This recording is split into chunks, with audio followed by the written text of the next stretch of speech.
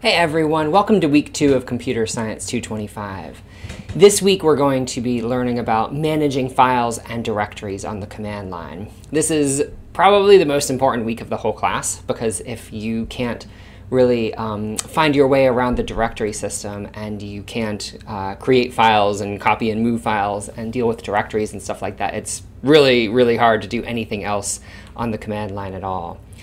So this week we're going to start by talking about um, the directory system in general, which um, really directory systems are sort of the same concept regardless of what operating system you're on, whether it's Unix or Windows or Mac or whatever.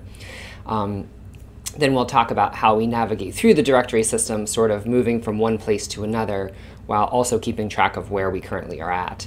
Um, then we'll also talk about how do you list the files that are in a directory, how do you make files, how do you make directories, how do you copy and move files and directories around, how do you get rid of or delete files and directories, um, all that kind of stuff. So um, like I said, this is really important when you're working on the command line to be able to move around and uh, edit the directory system, basically all of the sort of programming work or IT work that you would do on a command line system involves um, changing and moving and adding and replacing files. So this is all, like I said, super important for this class.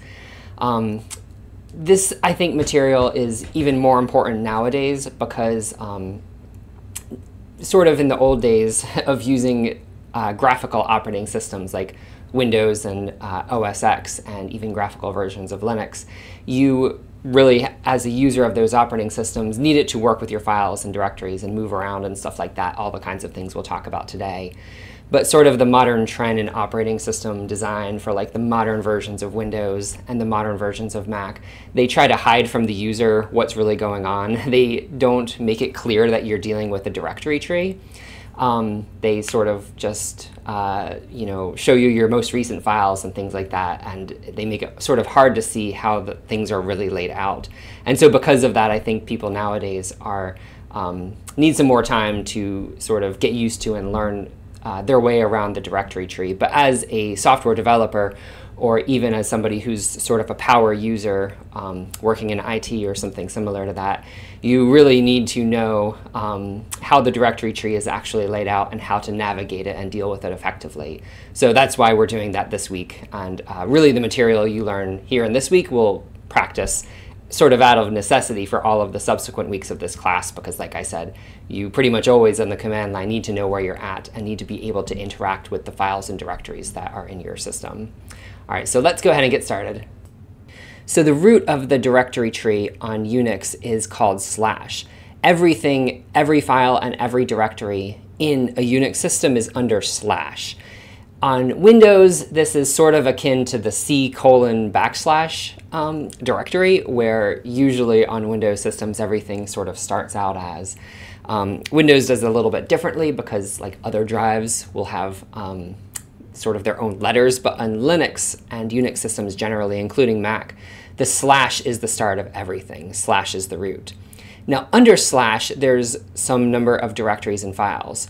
Every directory in uh, Unix systems can have directories and files underneath of it. Now, the slash directory has some important things under it, most of which you won't really need to use very much uh, or ever as, as a user of a Unix system. For instance, under slash is bin. So we have under slash, we have slash bin. Um, that's where sort of system programs go. Then there's slash etc, which is where like configuration files for the system will go. There's slash usr, and under slash USR, there's things like slash USR slash bin where like system programs go and things like that. And under the slash, there's also slash TMP, which is where you can put temporary files. And for your purposes as a user of a Unix system, the most important one is slash home, which is where user directories are going to go. So on the CPSC server, all of your files and things that you make will be under this slash home. Now, often on uh, Unix systems, under slash home, you'll have sort of directly the user directories, but on the CPSC server, we set it up a little bit different. Under slash home, we have slash home slash students. And we also have slash home slash faculty. So your um, student accounts are sort of in one subdirectory and the faculty accounts are in another subdirectory. Now, let's say if your name is like Elizabeth Martin, your home directory will be based off of your net ID. So your full home directory might be something like slash home, slash students, slash, let's say your net ID is emartin3. That would be the home directory for your system. And so this directory is where all of your stuff goes, but you should know that it's part of sort of this larger directory structure. It's recursive in a way, so every directory has a parent directory, except for the slash, which is the root of everything. So to get to your home directory, you could start in slash, then you could go to the home directory, then you could go to the students directory under that, and then you could go to the emartin3 directory, which is under that. So let's see what that looks like in terms of the actual command line system that we're dealing with. All right, so here we have a terminal window which is logged into the CPSC server. Now the first command we'll talk about today is the pwd command, which stands for present working directory. Whenever you're logged in on the command line system, you're always in one directory, and it's important to know much of the time what directory you're in so that you'll know where in the file system you are, where you're making files, where you're doing stuff. So pwd, when you run it, it just prints one line of output, which is the directory of wherever you're currently at. So when you first log in, you'll be in your home directory, which for me is slash home slash faculty slash ifinlay. Yours would be slash home slash students slash whatever your username is, whatever your net ID is. So pwd is a good command if you sort of are not sure where you're at and need to find that out. The next command we'll talk about is the cd command, which stands, stands for change directory. This allows you to move from one place in the file system to another. So you do the cd command by typing cd and then the name of the directory that you want to move to. So I can go to the very root of the file system by typing cd slash like this. Now if I do pwd, it will tell me that we've moved to just slash. The bash prompt, which is this sort of text that uh, is to the left of where you start typing your command, by default, it also sort of shows you where you are. So by default, it uh, sort of depicts this. So right now you can see there's a slash right here before the dollar sign. That's also a hint as to where you're at in the file system. So when we're doing the cd command, there's really sort of two ways that we can reference where it is that we want to go next. The first is with an absolute path. So if we type cd and then we begin typing where we want to go, starting with the slash, that makes it an absolute path, which means that we specify from the root directory all the way down where we want to be going to. So I can go to my home directory by typing cd to slash home slash faculty slash ifinlay, and that will bring me back home. And you can see pwd is back into my home directory.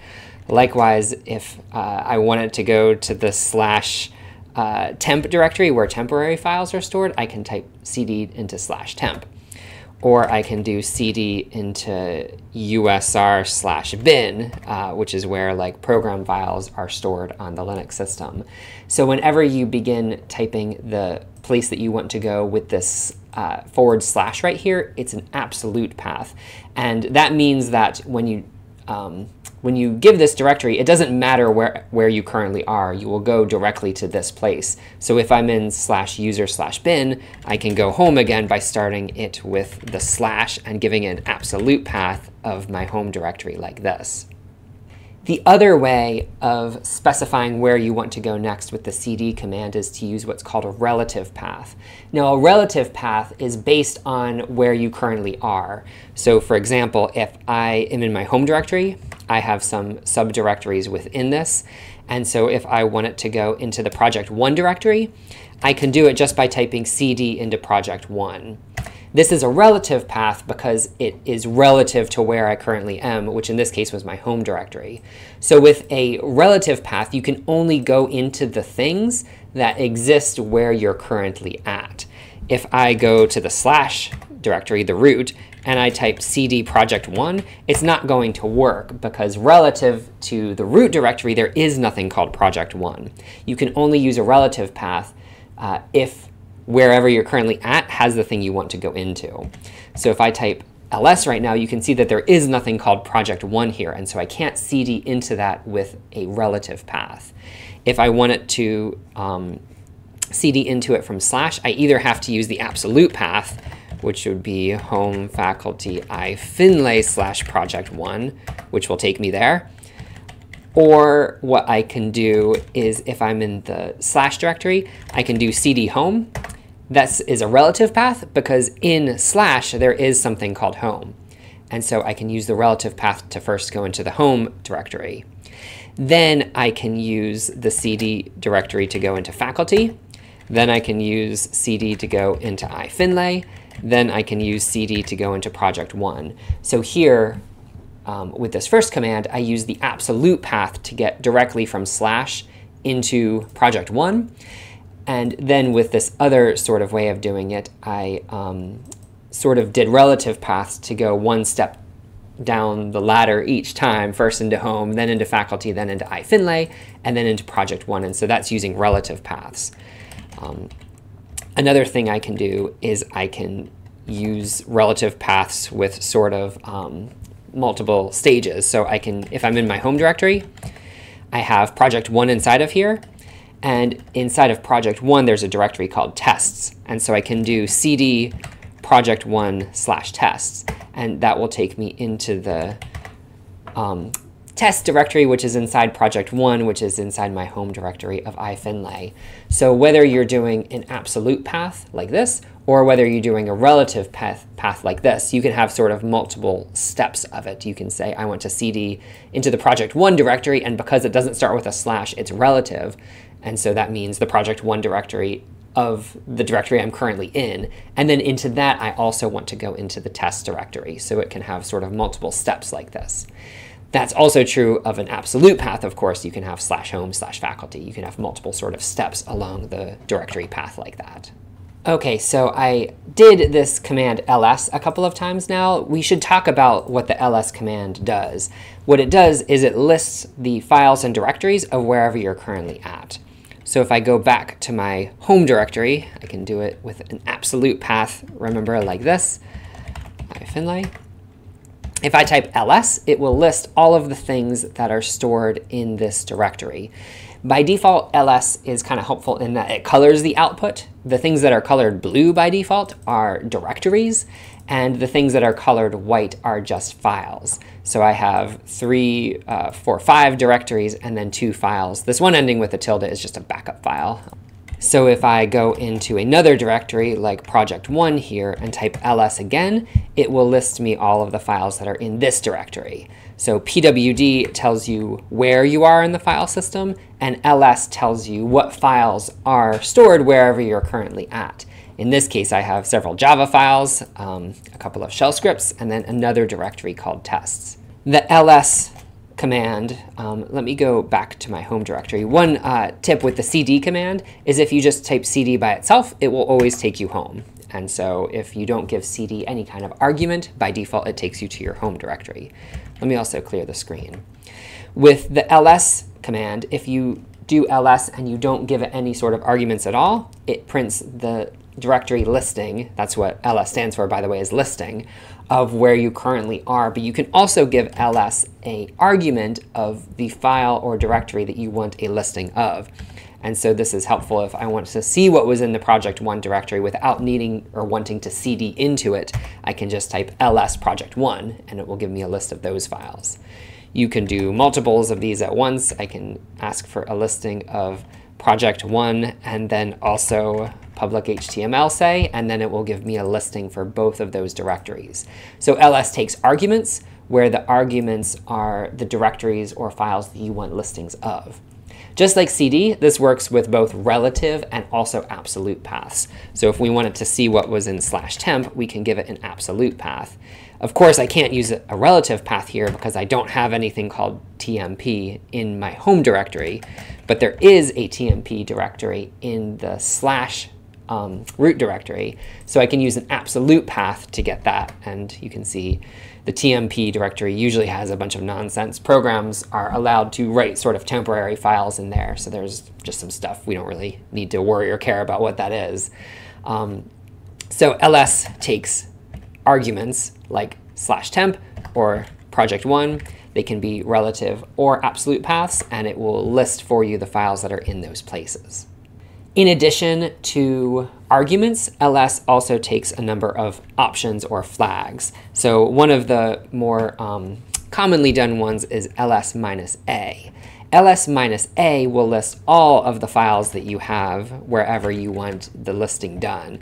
So if I do ls minus a in my home directory, you'll actually see that there's a bunch of other stuff that isn't in the normal listing. The normal listing just has a few things, whereas the minus a listing gives us all the files, which includes other things. Specifically, what it includes is all of these files and directories that start with a dot. If something starts with a dot in uh, Linux, it is a hidden file or a hidden directory. So this is sort of a simple scheme for specifying that a file or directory um, is sort of uh, what, what, what, we mean by hidden is that it doesn't by default display with ls. And in general, the hidden directories are things that like you didn't make yourself. They're not really your files. They're just made by the programs that you're using. So for example, when we um, talked about doing SSH, one of the things that was optional was setting up the SSH keys. And to do that, you need to go into this .ssh directory. This .ssh directory stores sort of program settings for the SSH program. They're not really your files per se. They're not things that you will have made and things that you'll want to edit or CD into or really care about. And so by naming them with a dot, they are sort of hidden out of the way where you don't need to see them unless you really, really want to or need to. Likewise, other programs like Bash we'll talk about has a number of hidden files. We'll talk about the Bash profile later on in this course. Likewise, Vim has .vimrc, which we'll talk about later. These are sort of like um, program configurations. Uh, there's a number of other ones, things related to MySQL, which is a database, other stuff like that. By default, they're not shown because, like I said, you don't really need to care about them most of the time. But if you want to see them, then you can do ls minus a to get them. Your home directory is going to have a few things that are hidden that start with a dot. Um, if you go into another directory, usually there won't be many things that are hidden that start with a dot unless you've sort of yourself specifically made something like that. When we talk about Git, we'll also talk about where we will also ourselves make a hidden file for doing the Git configuration for a project. Um, usually there's uh, only a couple of things that start with dot, which is the dot itself. Um, you can see here every directory actually has something inside of it called dot, which is sort of a special directory. What that means is it's a uh, reference to the directory itself wherever we currently are. So if we do cd dot, it will take us to the same place we are. And doing ls dot is the same thing as doing ls by itself. Uh, this is not super useful uh, in this particular instance, but dot is a reference to the directory wherever we're currently stored. Dot dot is a reference to the directory um, one above us wherever we currently are. It's a reference to our parent directory. So if you want to go from the project one directory back to your home directory, one way to do that is to say cd dot dot, which will take you one level above wherever you currently are. If I'm in my home directory, which is slash home slash faculty slash ifinlay, and I do cd dot dot, it'll take me up to home faculty. And then, of course, I can do cd uh, just by itself to go back to my home directory always. Okay, so that's the minus A option and hidden files. Now we can talk about another flag to ls, which is the minus L option. So by default, ls only shows you the files and directories names, uh, just, just their names. Um, the, we can also see extra information about them by typing the ls minus L flag. The dash L stands for long listings, so we'll see more information about the files and directories that we're talking about. So you can see if I do just ls by itself, it gives me just the names, whereas if we do ls minus L, it gives rather more information and sort of a row for each file or directory, and then various columns showing us some more extended kind of information. So the columns here, we uh, some of them we won't really ever care about. Um, the first one is the permissions, which we're going to talk about in detail in a later week of this class. The next one is the number of sort of references to this file or directory. We won't really need to worry about that um, really ever. Um, the next one is the owner of the file, and I own all of these files. When you type ls-l, it should give your username for the files and directories that you've made. Next is the group of the file. Um, this can be used for sort of allowing multiple um, people in one group, which you can create to access a file. It usually doesn't come up, but my group is faculty. Then there's the size of the file or directory in bytes. Now, all directories on this implementation of Linux anyway um, are 4 kilobytes large, so all the directories are, will always say 4K. If we want to find out sort of the total size of a directory and all the stuff in it, there's a different way to do that, which we'll talk about. For a file, it's just how many bytes is that file. This program.py file is just 93 bytes. Then it gives you the last um, modification time of that file. So this um, program.py, I edited it, in fact, today, and so it says January 11th at uh, 2.15. Um, some of these other ones are older. I haven't touched my bin directory since October 11th, for instance. Um, and so uh, that just shows you when the thing was last modified, if that matters. And then last, of course, is just the name. Now, we've seen two flags, the ls-a, which shows all files, and the ls-l, which so shows sort of more details on all your files. These can be combined together. So there's several ways you can do that. We can type ls-a-l, and that will show all of our files with all of the detailed information about them. We could do them in any order. So we could do dash L dash A. That works as well. It gives us the same output. We could also instead, if we wanted to, put them together. So we can just say dash AL, and that lets us sort of give the hyphen and then give however many options we want to. So dash AL does the same thing, and of course dash LA does the same thing. So when you have options, you can sort of separate them out one by one like this if you want, or you can just put them sort of all together after the one hyphen. You can also combine up the options with arguments. So let me clear the screen. So for instance, if we want to give a long listing of everything in our project one directory, we can do that like this. We can say ls then we give the options, and then we give the uh, argument that we want to give, which in this case was project one.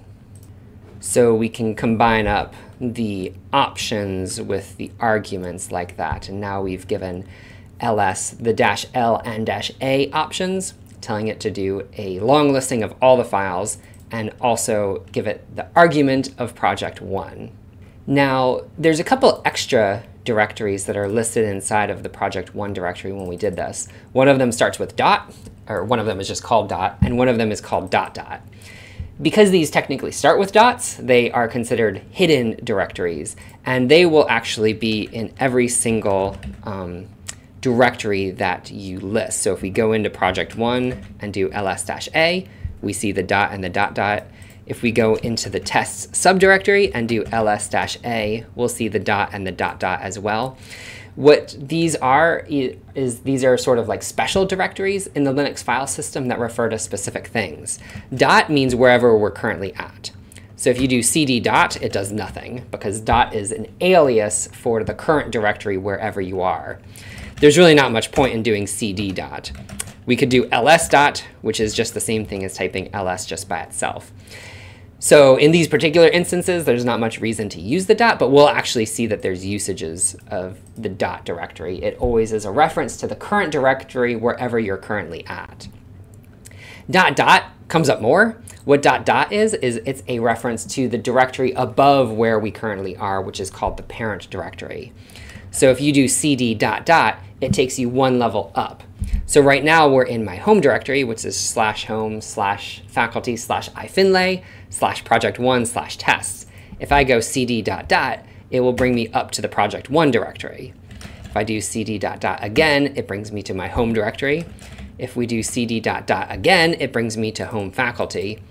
If I do cd dot dot again, it brings me to home. And if I do cd dot dot one last time, it brings me up to the slash directory, which is the root of everything. So cd dot dot brings you up one level from wherever you're currently at, which is oftentimes really helpful. So just to review some of these sort of special symbols, um, cd slash takes you to the root directory of everything. cd tilde takes you to your home directory, which for you would be slash home slash students slash your net ID. cd into dot does nothing because cd dot brings you to the current directory, which is where you're already at. And cd dot dot brings you one level above where you currently are. All right, um, let's talk about a couple more flags to um, the uh, ls command. Actually, I just did something that I'm not sure if we talked about. I just typed cd by itself with nothing.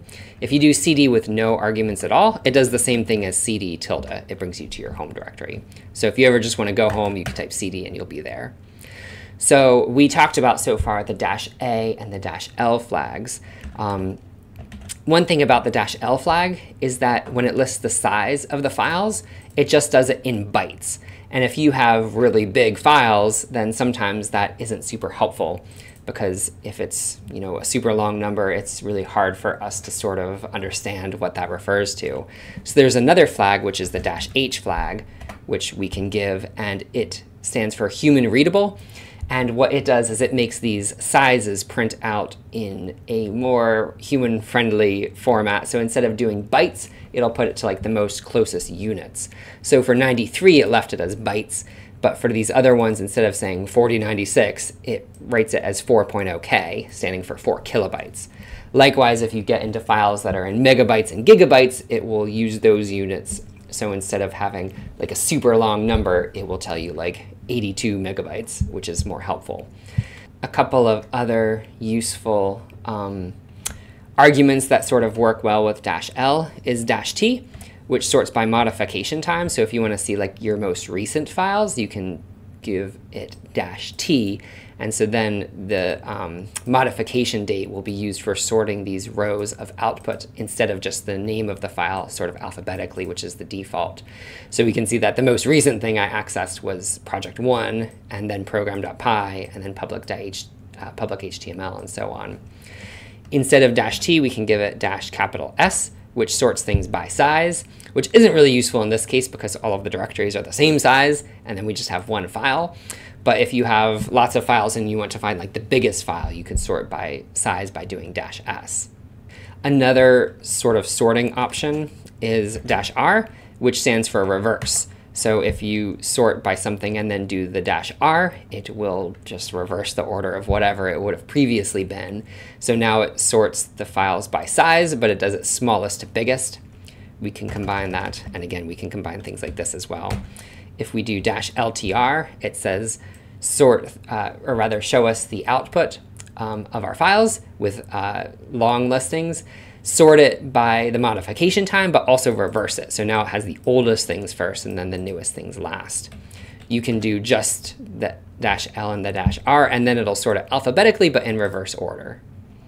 Now, one of the really most um, uh, widely helpful sort of flags is dash capital R. What dash capital R does is it gives you what's called a recursive listing. And so this will list all of the things that are here and also all of the things that are in those things. So if we do ls dash R, it shows us what's in dot, our home direct, or rather our current directory, which is bin, config, grading, all that stuff. And then for each of the directories here, it drills down into those directories and shows you all of the things there as well. So here it shows us what's in the bin directory, what's in the config directory, what's in the grading directory, what's in the project one directory. And then because project one has a directory called tests, it also shows us what's inside of that. And it drills down as many levels as you want, or rather as many levels as there are. Um, then lastly, it shows us that public HTML is empty. So dash R stands for recursive, and it means don't just do the thing here, but go down into all the subdirectories and all the subdirectories of those subdirectories and do the thing as well. In this case, just listing the files. There's um, lots of other commands that take this dash R flag and it always means recursive, aka not just here, but in all of the children directory of here as well. Okay, so let's clear the screen and talk about our next topic. All right, so we'll look at some commands now for actually interacting with the file system, making directories and files, copying, moving, and deleting things.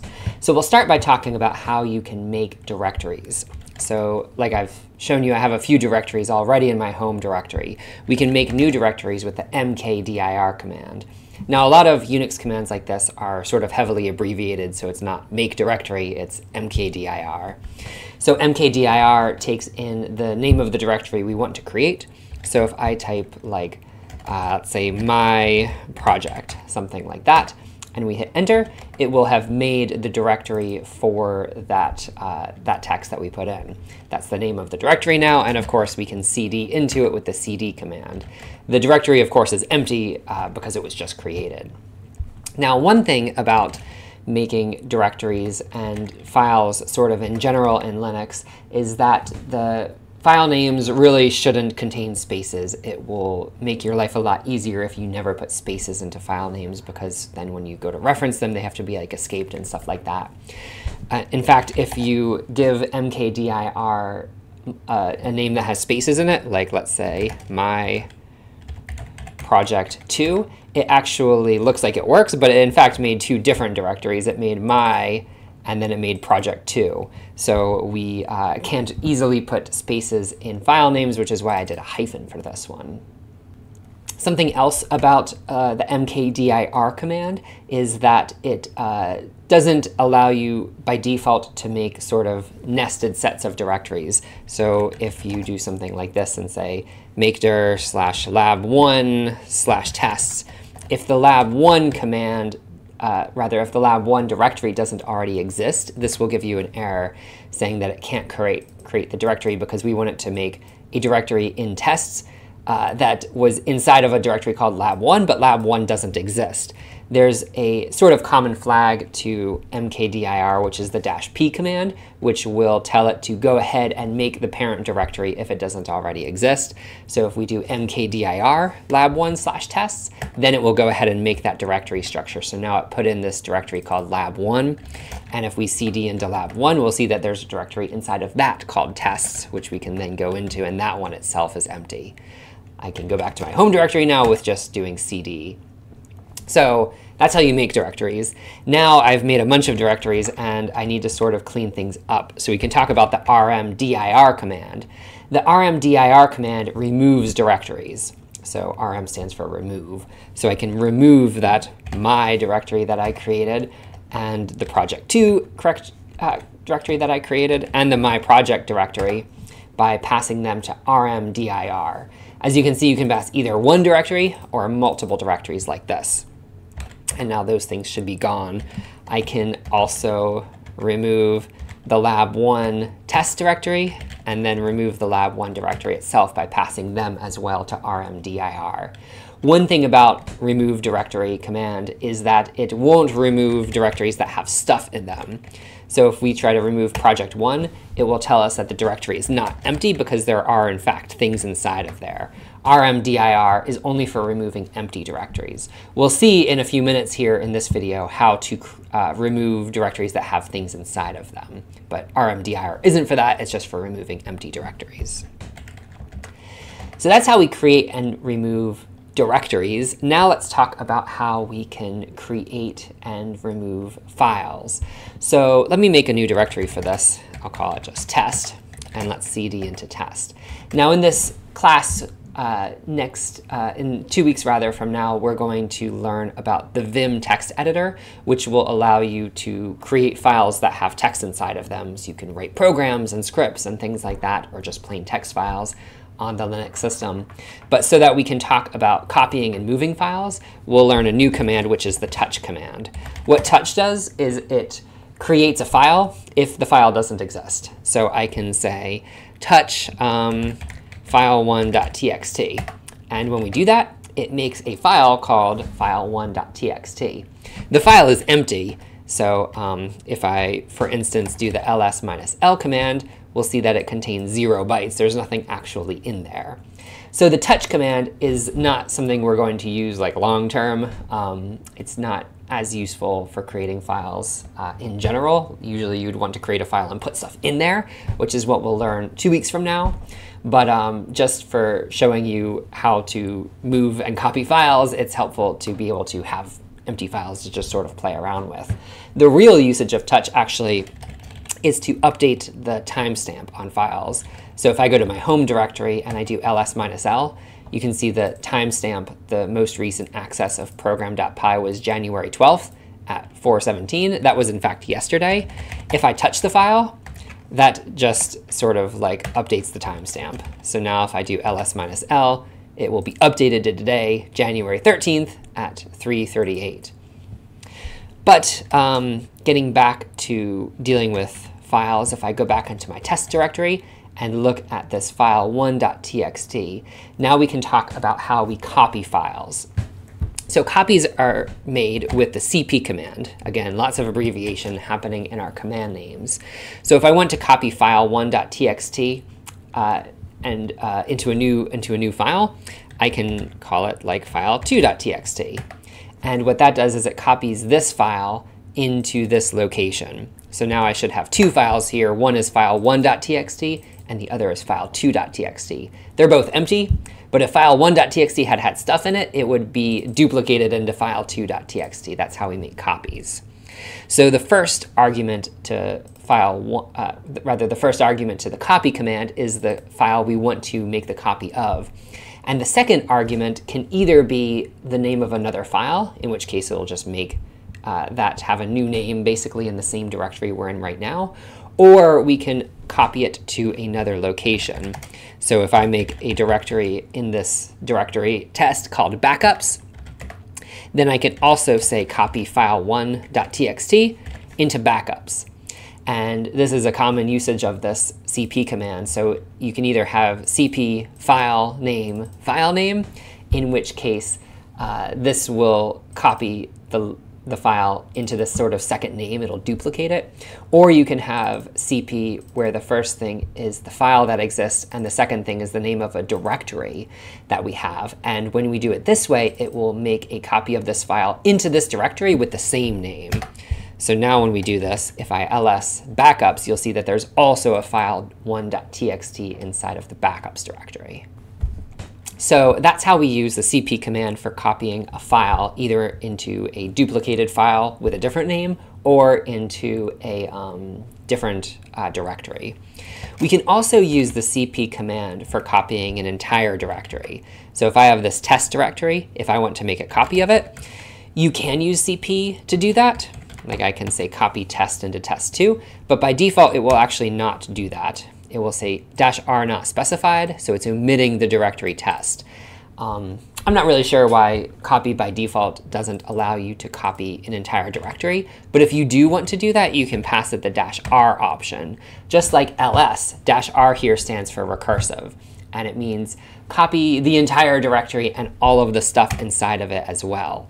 So with cp-r, test into test2, it made us a test2, and if we go into test2, we should see that it has the same stuff that our test uh, regular test directory has. It has file 1.txt and file 2.txt, and then it has a backups directory which also contains file 1.txt. Now, that's copying directories and copying files. We can do a similar thing with the mv command, except that will move the files. So let's say I'll clear the screen. And here we are right here where we have file 1.txt and file 2.txt. Now, if we want to, instead of copying file 1.txt, what if we want to rename file 1.txt? You can do that with the mv or move command. So like cp, mv can be used in sort of two different ways based off what arguments you give it. If we give it the name of a file and then the name of another file, it will um, move that file, renaming it essentially. So if we say move file 1.txt to, let's say, um, just be boring and say file 3.txt, then it will essentially have just renamed it. So file 1.txt got renamed to file 3.txt. This can rename files. What else uh, MV can do is it can move a file from one location into another. Like CP, we do this by having the second argument be um, the name of a directory that exists. So if I say move file2.txt into backups, then it will change the location of it. Now it's not any longer inside of this test2 directory, but rather it's inside of backups. If we look at backups, it will be there. And then we can move file3.txt into backups as well. So now those directories are just, uh, rather those files are just in our backups directory. Something about uh, MV is that you can use it to accidentally sort of overwrite files. So if I moved file 1.txt to file 2.txt, then what this will have done is it will have renamed file 1.txt to file 2.txt, and in doing so, it will have overwritten the file 2.txt that existed here. Um, a lot of Unix commands are sort of dangerous in this way, in that if you're not really careful, you can accidentally overwrite data that you had wanted to save.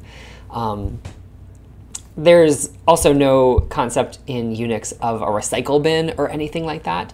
Even if you're using a system like a graphical version of Linux or Mac OS X, where there is a recycle bin thing, usually that doesn't interact with the command line at all. So if you open up your Mac and start doing things on the command line with the rm command, or rather the mv command we're talking about now, the things that get overwritten don't go to your recycle bin. So you have to be a little bit careful. That's one of the reasons that we'll learn um, how to use Git in this class so that you can make sure that you have good backups of everything.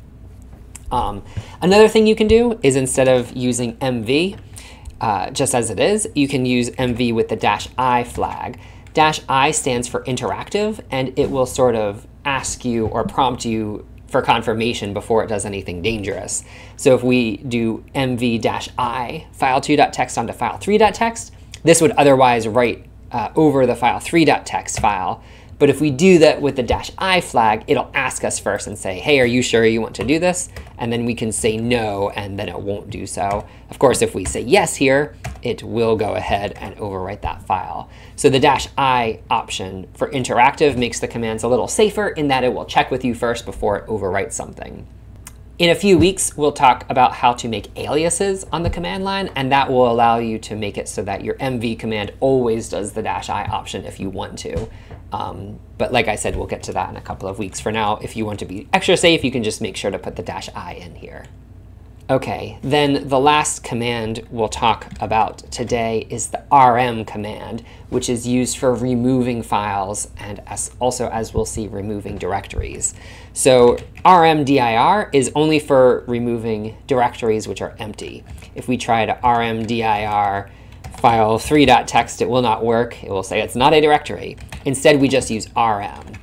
rm and then you pass it the name of a file or files, and it will remove them. It deletes them, and like I said, there's no concept of a recycle bin. This file is now just gone. Um, it was empty anyway, so not a big deal this time, but in general, you want to make sure that you are sure you want to remove something before you use the rm command on it. Um, let's go up one directory, um, and let's make a couple of more files uh, just for um, example's sake. We can make file1.txt again, and let's say file2.txt. Lots of these commands like touch, you can give them multiple files and it will sort of make all of them. So now we have file1.txt and file2.txt. With rm, it also supports the dash i flag. So if you want to, you can make it confirm for you that you really do want to remove this thing and you can either say yes or no before actually going through with it. If we say no, of course, it leaves the file intact. The last and most dangerous usage of RM is for removing directories in their entirety when they have things inside of them. So as we sort of said, I can't remove the test2 directory with rmdir because it will tell me the directory is not empty. rmdir is a very safe, conservative command, whereas the rm command really isn't. By default, though, if you try to remove a directory with rm, it will tell you it's a directory. You have to give it the dash r flag. Just like for copy, if you want to copy an entire directory and everything inside of it, you need dash r. For ls, if you want to list a directory and all of the subdirectories, you use dash r. Likewise, if you want to remove a directory and all of the stuff in it in one fell swoop, we can do the dash R flag. Now test2 and everything in it is gone. Um, I can also do this on the test directory, which as you can see has a directory inside of it and then a couple of files spread throughout it. If we want to get rid of the thing all at once, we can do rm-r test, which will get rid of it all in one go. Of course, you want to be careful with this because there's no really easy way to get this file back once it's been deleted. So that concludes the commands and things that we're looking at this week. We've done a lot of um, big topics that are really super important for the rest of this class. We've talked about how you navigate the file system, how you know where you are. We've talked about absolute versus relative uh, directory paths, which is really important for knowing how to get around different places. And you have to sort of keep in mind whether you're doing something with a relative path or an absolute path to know how it's going to work. Then we've talked about a lot of really core Linux, Unix commands that you're going to use just week in, week out for a lot of uh, a lot of the things you'll do on the command line. We talked about changing directories, doing the ls command to list what's in a directory, how to create directories and remove directories, how to copy, move, and remove files, all of which, like I said, are things that we'll use um, week to week throughout the rest of this course. So um, you'll get lots of practice in doing these things. Next week, we're going to talk about a couple of other things dealing with um, uh, managing files and managing directories. So we'll get to see a little bit uh, more on similar topics next week, which will be week three. All right, thanks.